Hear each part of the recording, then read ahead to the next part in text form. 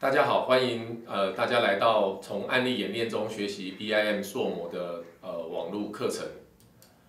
我的名字叫做谢尚贤，目前在国立台湾大学土木工程学系任教。那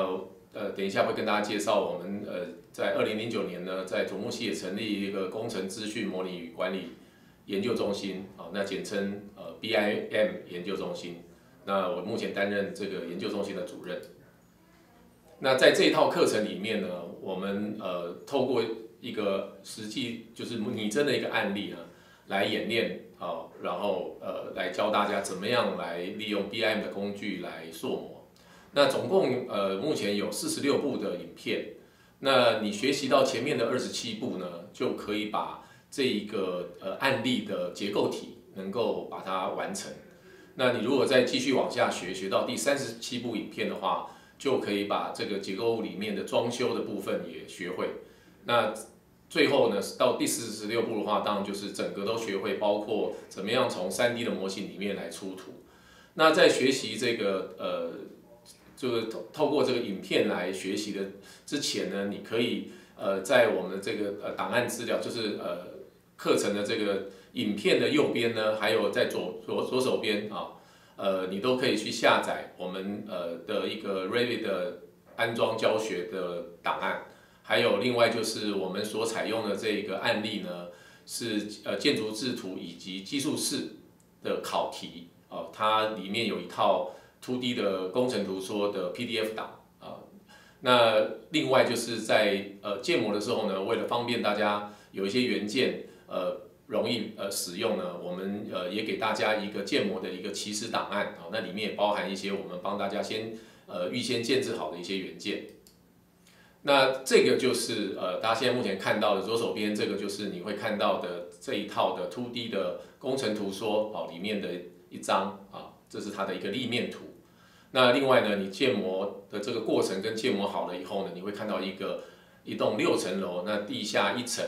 的一栋建筑物。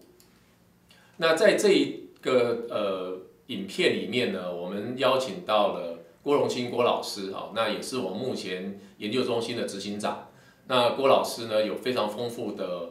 呃教学还有实务的经验。那他目前呢也受邀在国立交通大学土木系，还有呃国立台湾科技大学的建筑系呢，在教授 BIM 的相关课程。那郭老师呢会来呃在这里面呢。担任讲解的工作。那另外呢，我们有有一位呃蔡元浩蔡同学呢，会呃协助郭老师，呃，他是担任整个这个影片里面软体的操作的部分。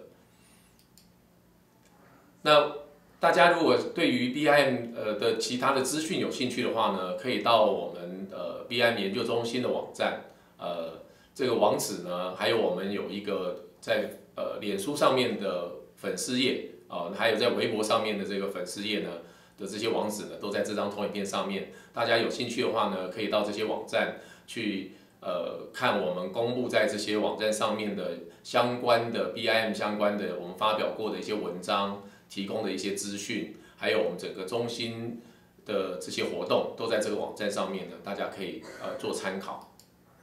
另外呢，呃，跟这一套影片搭配的呢，有一本。书啊，那这本书呢，书名叫做《透过案例演练学习 BIM》啊。那呃，目前发这个出版的呢是基础篇啊。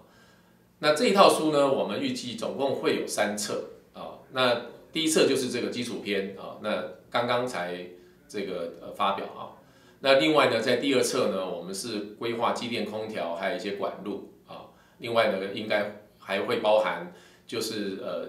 建筑。呃，结构还有呃机电空调管线这些模型之间的碰撞检测啊，这方面的一个教学。那第三篇呢是有关于 BIM 呃相关呃的应用方面的这个呃说明啊。那这包括怎么利用 BIM 的模型来进行分析啊，还有怎么应用 BIM 模型呢应用到例如说数量、材料的统计啊，模型的整合跟视觉化，还有呃整个施工过程的模拟啊这些方面。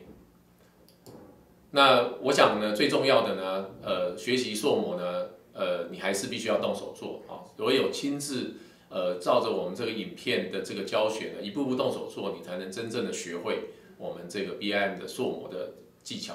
谢谢大家。